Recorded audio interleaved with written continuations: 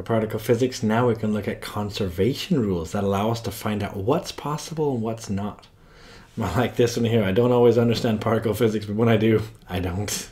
That's how a lot of people think. So, a conservation is the idea that a property must be conserved. So, it has to be same before and after. So, for example, uh, these are the, the four main properties we'll be looking at, uh, especially in IB. It's going to be charge, uh, baryon number, something called a lepton number, and something called strangeness. Uh, now, the strangeness is not always having to be conserved. So, uh, did you see to the side here? I say the weak interactions, and we'll talk about this later. The ones with the W plus minus bosons or the Z bosons, those don't have to conserve strangeness. They're allowed to violate it. But the strangeness will be conserved for electromagnetic interactions, so things that involve photons, as your sort of wingman particle, as I'll talk about. Um, so main thing is that this right here, this, these two tables here are given on your data booklet, so you don't have to memorize these. And look, if you look for your quarks, so you got the UCT, look at this, you have your charge for UC and T, so the charge is to the left. But for DSB, the charge is different, it's minus one third E. Remember, E is the elementary charge. So you got charge then figured out for quarks, you got charge here. So UCT, there's the charge, DSB, there's the charge. And just for your leptons, your electron, muon, and tau, uh, your charge is negative one. And for your neutrinos, it should make charge, it should make sense charge is zero because they're neutral. Then we've got baryon numbers, something called baryon numbers. So in this case, UCT, they all have a baryon number of one third. DSB also have one third. Uh, that's good news. Um, we'll see why. Leptons, by the way, uh, they don't have a baryon number, so they have a lepton uh, baryon number of zero. So if you're one of these particles here, your baryon number is zero. If you want to look at that. Conversely, lepton number. Do you notice there's no lepton number written for the quarks? Good, they're not leptons. That's why, so their lepton numbers are zero. But leptons all have a lepton number of one, except antiparticles, so the anti-electron has a lepton number of minus one. Remember I said antiparticles have opposite uh, properties. Finally, we have something called strangeness. This is a little bit weird. Um, so they're going to say that all quarks have a strangeness number of zero except one called the strange quark, oddly enough, that one right there, it has a strangeness of minus one. See, that's what makes it strange. Why isn't it plus one? Because it's strange. Uh, what I find interesting is not on the data book uh, booklet is that antiquarks have the opposite sign for baryon numbers. So if you have, uh, it's just it's just nice little things that you might want to know.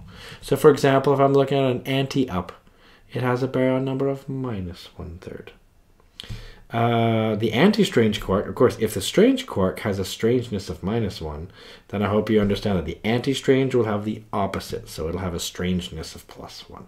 I love these words, strangeness. And of course, like I said, anti-quarks have the opposite charge, etc. Um, so there we go. We're ready to apply the conservation rules. So now let's just do a bunch of examples. So let's look at the charge of a proton and a neutron. Do you remember the quark makeup of a proton? Maybe you remember it already but you need to know it. So the quark makeup of a proton, let's see. Well, I remember that they all have three things and they end in a down. I remember the neutron is like it's up, but it's also a little bit down. And the proton is up, up. It's very happy. So there we go. Let's look at the charge for this bad boy then. So if we have U, U, and D, let's see here. I have U. U is 2 thirds E. So I'm going to have 2 thirds E plus 2 thirds E minus 1 third E, if that makes sense. Because that's the D. So I'm going to say 2 thirds E plus 2 thirds E minus 1 third E. What do I get here? Well, here I get 2 thirds plus 2 thirds is 4 thirds E minus 1 third E. So what do I get? 4 minus 1 third is 3 thirds E. So that gives you 1 E. Good news. It's supposed to. A proton should have a charge of 1 times the elementary charge. See, it worked. Let's see if the neutron really gives us neutral. It should be none. Let's see what happens. An up is 2 thirds E.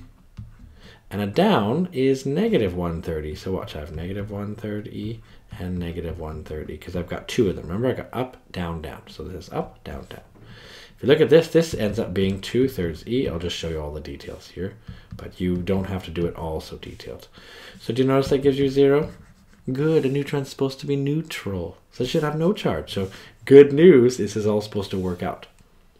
Let's look at the baryon number for UCT. Uh, so this would be Let's, uh, well, actually, I'm going to leave it for now. Just look at, let's just look at this, something made with three quarks here, U, C, and T. So let's look at this. U, C, T, don't they all have a baryon number of one third? So if you look at that then, I'm just trying to get you practice just so you can deal with these. It means I have one third plus one third plus one third, all three particles. So the baryon number should be one.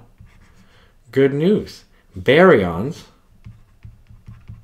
should have a baryon number of one. That's why they're called baryons. So good news, right?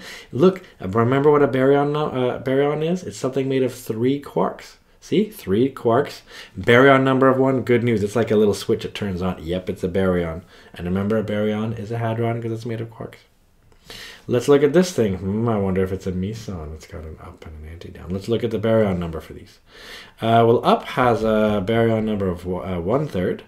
But the anti-down, let's see, down has a baryon number of one third. So the anti-down has negative one third. All right, so now we do minus one third. And good news, it's zero.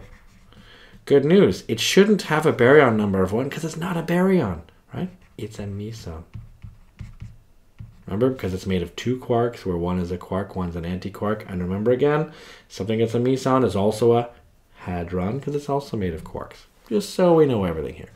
Uh, oops, here, I've got a real mess here. What happened here? Oh, God. Let me just, uh, oof. Boy, it's going to be messy. I just got to actually temporarily grab these things here I'm just going to try to grab them here because I'm going to have to move them. I'm going to have to move these particles here. I'm going to have to move everything here away. Ooh, it's going to be messy here. Sorry about that. Because my question got a little bit messed up here. There we go. I'll just move these over here. I'll move this back up here. Let's see if I can fix everything now and put them back in here. So I've got this right here. Oh no. At least this one here I can fix. Uh, this is that particle. And let's just put it down here. I'll just rewrite it then. Maybe that'll be simpler than try to move it everywhere. Antiparticle of the pi plus meson. And we have the breakup here. It's pi plus equals u anti down. There we go. So then I don't need to worry about these over here. So we'll just ignore those. So what's the quark content of the antiparticle of the pi plus? Well, you're told that the pi plus is up, anti down. So because of that, the antiparticle of this you see that? It would be called a, in this case right here, I would call it a pi minus. It would have a minus charge. Uh, and let's see what that would be made of. Well, it would be the antiparticle here. So just be an anti-up and a down. I'm just trying to get you used to this. This is really simple, right? Let's do the baryon number, strangeness, and electric charge for this particle. Anti-strange, anti-strange, anti-strange.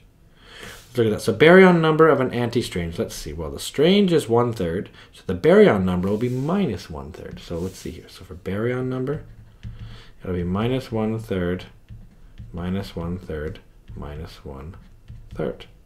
So in that case right here, it'll be minus three thirds. So baryon number will be minus one. All right. Then we have um, strangeness. Let's see how strangeness works. Well, remember strangeness, you can look it up right here. You don't have to memorize it. Strangeness is, let's see, strange quarks have a strangeness of minus one. Does it make sense then that anti-strange will have a plus one? So because we have three anti-stranges here, it'll be plus one, plus one, plus one. So in other words, the strangeness number will be three. Seems weird, but you can just calculate these things. What about the charge? Well, we have three anti-stranges. Let's see. Well, the charge of a strange is minus one-third E. So I'm going to have, as the anti-strange, I'll have plus one-third E, won't it? So it'll be charge will be one-third E plus one-third E plus one-third E, which is three-thirds E, which is just E. So I hope that right there made sense to you. Uh, this is how I can solve these. And I have a final question for you right here. So we have a positive pion. So we're told this pi plus here. It's a meson consisting of an up quark and an anti-down quark. Can you see we have it right here? We're given that. Now a student suggests that the decay of this thing is represented by the following. So pi plus, and remember the pi plus is really made of an up anti-down here, uh, leads to this particle right here plus that particle right there. Right? I'm just rewriting with a u anti-down. And they say, is this possible? If not, what's violated? So let's look if we can figure this out.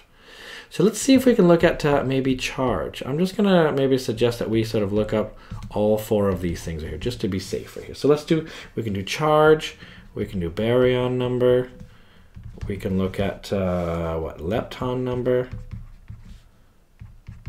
And we look at strangeness. Let's look at all of these just to be sure we know how to do this. It's good practice, I think. So this right here, we have to look at the left side versus the right side. What's the charge of an up? You have to look it up over here. So charge of an up is 2 thirds E. And an anti-down is going to be 1 third E, right? Because it's opposite of this. So up anti-down is going to be 2 thirds E plus 1 third E. All right? So charge will be 2 thirds E plus 1 third E. So that should give me 1 E. That's on the left side. We have to look at the right side. The right side is an anti-mu particle. Let's see what that is. Let's see, because it was a mu plus. Remember mu normally has a minus? So the mu plus actually has a charge of plus 1 e. So we look at that. So here we have a plus 1e. And of course the neutrino has no charge, so look at this. See this right here? It's conserved. It's the same left and right. Let's look at the baryon number for this. Uh, up has a baryon number of one third, and an anti-down has a baryon number of minus one third. So that gives me a baryon number of zero. Let's see if that's the same as on the right side. This right here is a lepton, so that has a baryon number of zero. And this is a lepton as well. So look, this is conserved. Let's look at lepton number though. Let's look at this.